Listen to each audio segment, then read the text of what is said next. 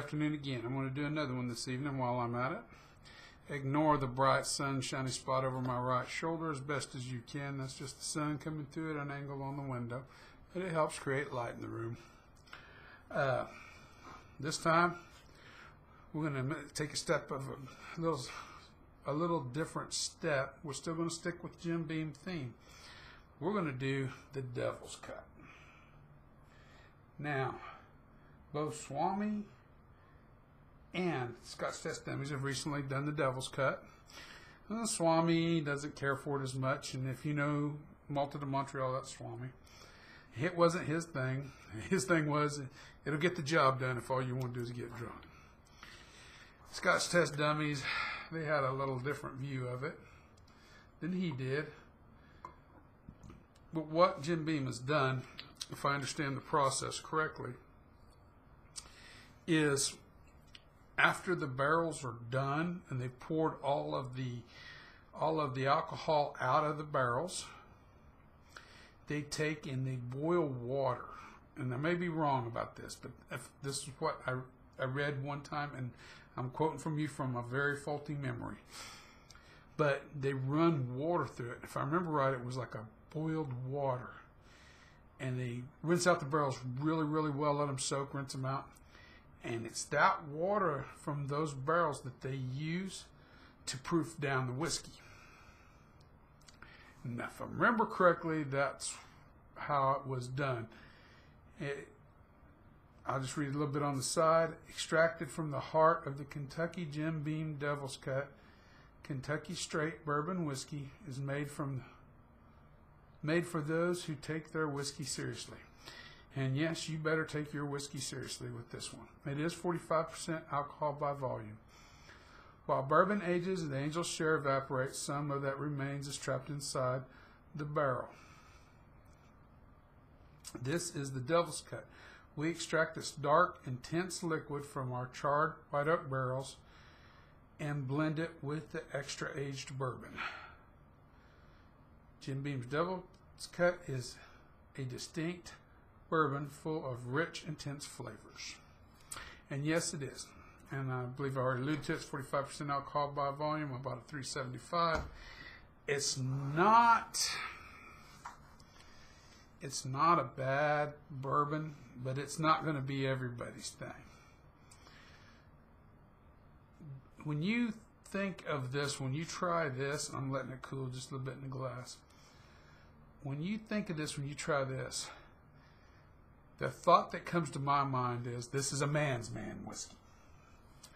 You still got the barrel, but you got a lot of spicy, intense flavors going on there. And a lot of very intense overriding flavors. That being said, let's get to it. So we have increased to 5% alcohol by volume over the typical white label. Mm, couple of legs, it's just kind of moving slow. There's not a lot developing there. Just a, you can see the rim around the glass and the beads developing along the the uh, the rim where it's sloshed up, but there's not a lot of heavy beating or nothing running. So I think it's fairly viscous, but probably not as. There's a bead going now. They are starting to run now and it is about the same as the the uh, white label. It's maybe an amber, a couple of shades darker instead of one shade darker, maybe a couple of shades darker than the white label is. And the wood shines, and you're going to get wood in this one. This was designed to get the wood. And get the vanilla. You get that oak and you get that char.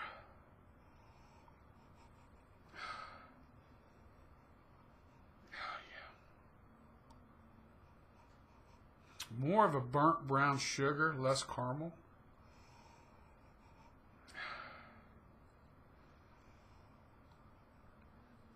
And more of a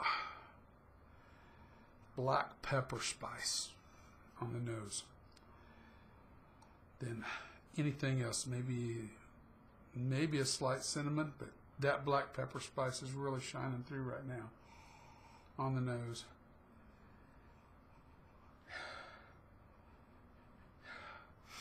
Man, it's it's wood, it's oak and spades, and even a slight bit of maple smell in there. I don't know how it's getting that. I've been getting that lately on a couple of different things. I don't know what's going on. Had maple syrup pancakes for breakfast this morning. Maybe that's lingering. But that was 10 hours ago. But almost just a faint maple. Not maple syrup, just maple tree. I used, again, I used to work for my dad a long time ago. And we made hardwood doors for a living. Well, we made softwood too, pine. But we cut up, you name it. White oak, red oak, maple, cherry, mahogany, American Philippine mahogany, uh, Lord, walnut, ash, pecan. Pecan was the worst. It chips so bad. Ash chips bad too, but pecans a grade worse. We even made doors out of willow one time, if I remember correctly. Can't recall ever building any out of cottonwoods though. That's a really soft wood.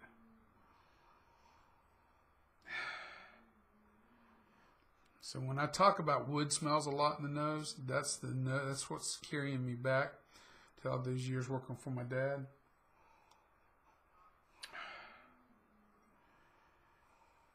Maybe a slight bit of acetone on the nose.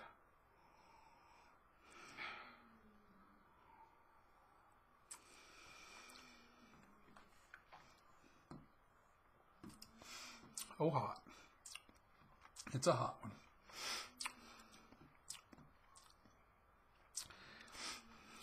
That's a hot one.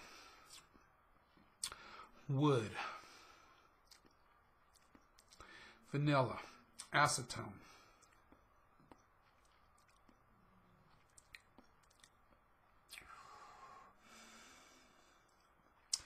A little more cinnamon and black pepper. Cinnamon's get a little bit more cinnamon in the palate. There is some still that black pepper still there, but the cinnamon's a little more intense there. This one's not so sweet. You do get maybe a little touch of that burnt brown sugar I talked about. Almost like if you took a pecan pie and you let it set too long in the oven and you burn your pecan pie a little bit. It's that flavor right there, that burnt brown sugar.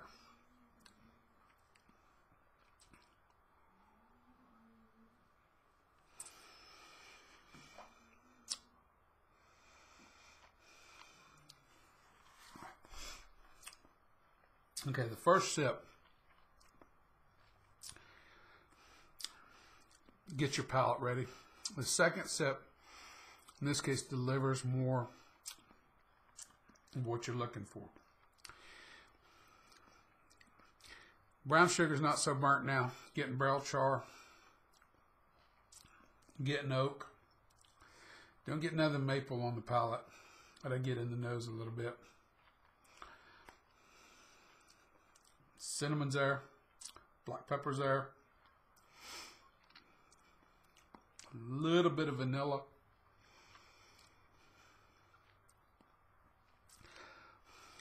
A medium, little over medium finish. Medium to medium long, not quite long. It's sticking with you. That flavor's so intense, it just sticks with you. I don't know how it would work with Coke, honestly. I don't think it's sweet enough. You'd have to, you might try to make something different out of this. I wouldn't even know where to begin. Mixed drinks are not my bag. It is intense. But it's not bad. Boy, it makes you burp a little bit. That's not bad. I don't mind it. 375 is enough though. I've had it in the little 50 mils before and bought it with 50 mils. When you just drink a 50 mil of it, it's actually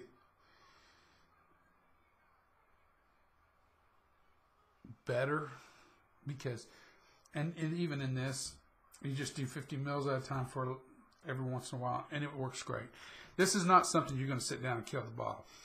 I got a feeling if you killed the bottle of this, knowing my system, my personal system, there would be some.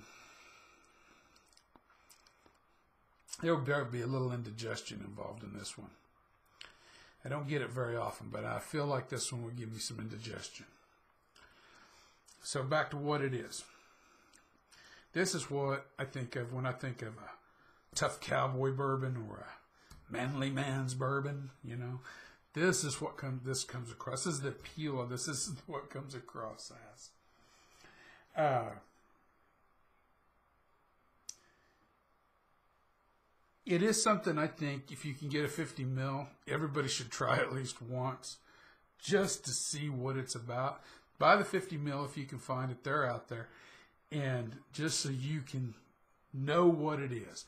Because it is it is a different it's a different character altogether. It really is. That being said, I have to give it a letter grade. I do actually like it better than the white because I do like the richness of the flavors it brings forward. I'm to have to bump it up to, oh, an 81. I think 81's a good score on this. Uh, that's four grades higher than the, what I gave the white while ago. And it's four grades better than the basic white, so I think that's fair. All right, I think I said all I need to say about this one. Everybody, remember the spirit in your glass is not running from you. Take your time, sip and enjoy it. You'll be better for it. Everyone have a good evening.